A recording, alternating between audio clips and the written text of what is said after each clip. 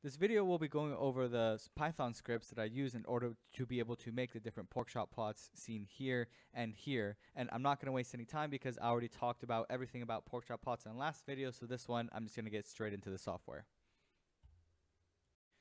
So getting to the function of doing these interplanetary pork chops, the way that I have it set up here is that there's some sort of initial config dictionary which has all a bunch of default arguments to the function.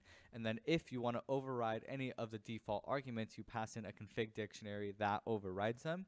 So some of the most important uh, values that are shown here are planet 0 and planet 1 which basically means where are you leaving from which in this case is earth and where are you going to which is mars but in this case it's mars barycenter because we're going to use spice kernels in order to get the ephemeris data of earth and mars and this is just a way that you find the ephemeris data for Mars by using Mars Barycenter.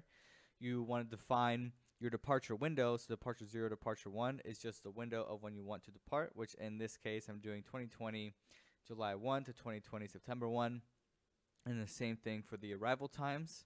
You want to define a mu value because this is going to matter for the Lambert's problem solver. You want to find a step of how often do you want to take these combinations. So this basically says for every single day from departure, for every single day in the departure window and every single day in the arrival window, I want to take a sample. So that's what the step is. The frame and the observer, we again need to get the ephemeris data of Earth and Mars Barycenter or any planets that you want to do using spice kernels. Cutoff V just means that you have some sort of cutoff value where a Lambert's problem, if it gives you a delta V that's greater than this, well, you don't really care about it anyways. These levels, and then the rest of these arguments are all for the contour plots, which I'll get into later in the function. But basically, there's a lot of different options as far as how to actually plot these pork chop plots. But as far as the calculations, these are what's necessary for the calculations. And again, how you implement kind of this default config dictionary and then override with what you want to pass in It's just this. So for each key in the config dictionary that you pass in, override the default dictionary with a key which whatever with whatever you're passing in. It's kind of a weird way of doing it, but it works well for me and I like it doing this way. Um, but obviously that's not necessary.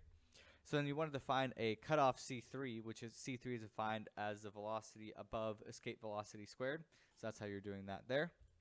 You want to create an array of ephemeris times of departure and arrival times. So basically from the initial the, the initial date of the departure window to the final date of the departure window, every single step that you passed in, which in this case is one day.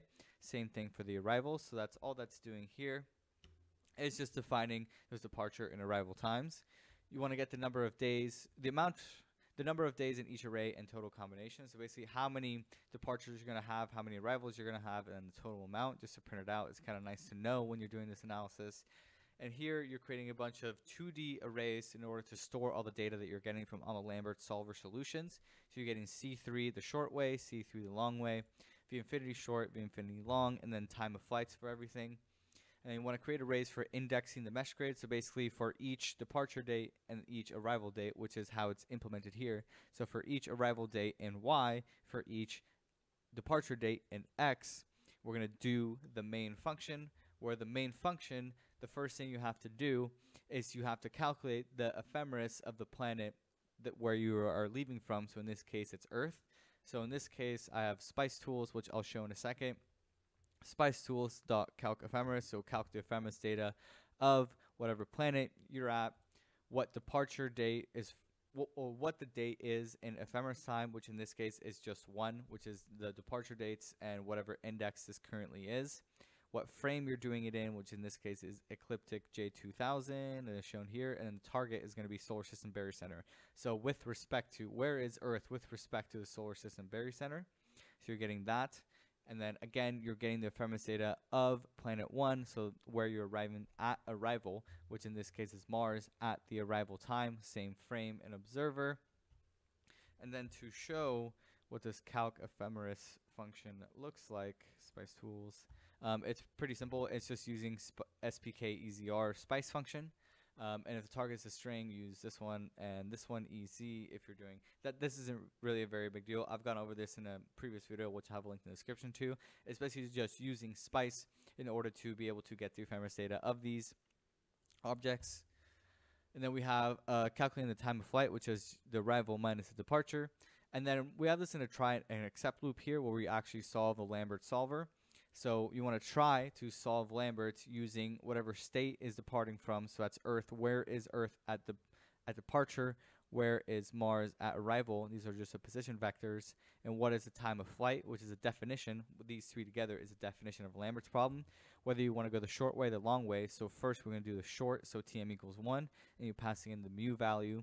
And then if Lambert's problem comes up with an error, which happens a lot, especially when you're just trying a bunch of random uh, different uh, combinations of departure, arrival, and time of flights, you're going to come up with errors.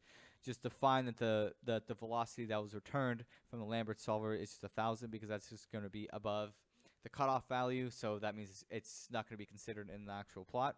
And then just do the exact same thing, but using Tm equals negative 1 because we also want to find the long way. And again, same thing, if the Lambert solver errors, just throw back a thousand, so it'll be beyond the cutoff.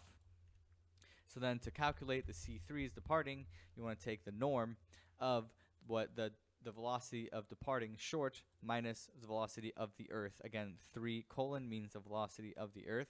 So the difference between those two vectors, take the norm of it and then square it in order to find C3 shorts and C3 for the long ways. Again, C3 long. And then again, if they're above the cutoff delta v's, just define them as the delta v's and the plot will take care of the rest. Doing the same thing with v infinity, uh, just find the difference between the vectors. This time it's state arrived, so what is the Mars velocity compared to what the velocity is when you arrive using the Lambert solver. And this is just v infinity, so you just subtract, find the difference between them and then take the norm for the both. Again, do the cutoff velocity.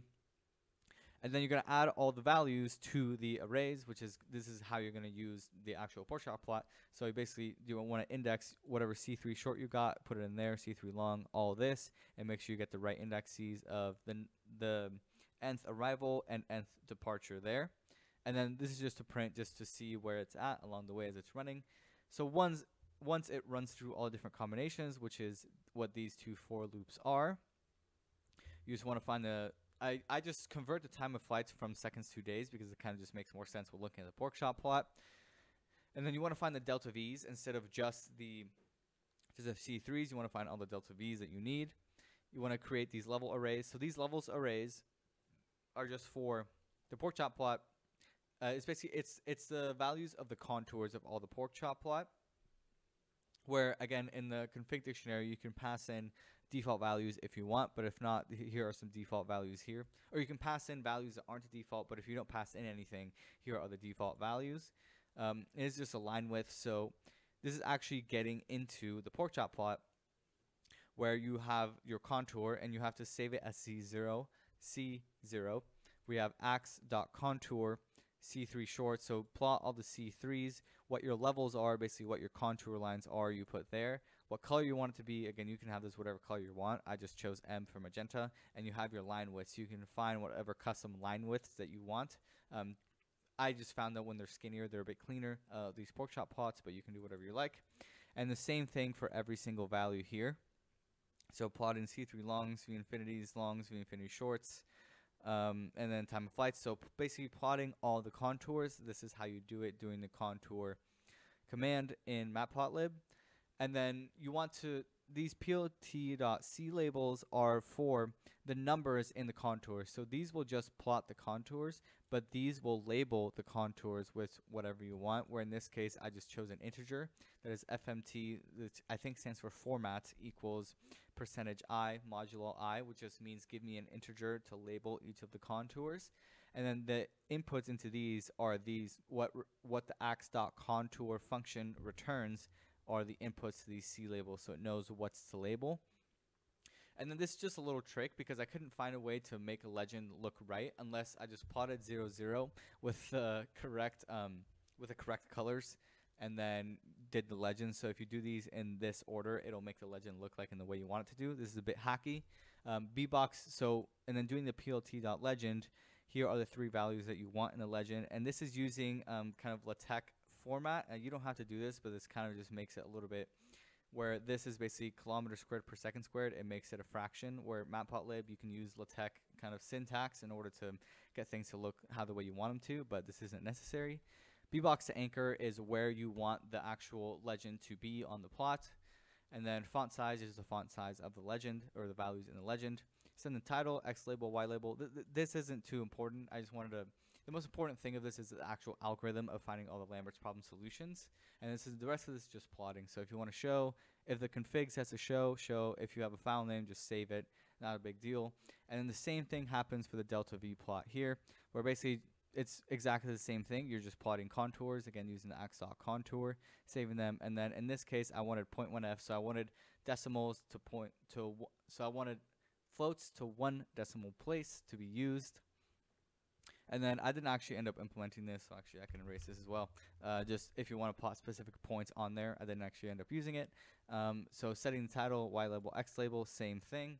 So again, I know I went over this really quickly, but this is honestly, in my opinion, it's still a little bit messy. I still want to clean this up a little bit more, but I just made the video for Porkchop Pod, so I just thought I would show how to do it. And definitely, please let me know if there's any questions about what I did, because again, I think I still think it is a little bit sloppy, and I could make it a little bit cleaner, the function as a whole, and kind of how I name things. And also, I could implement parallelization, so it's not a nested for loop here, which makes it a little bit slower. Uh, yeah. But that's that's pretty much it as far as the software goes.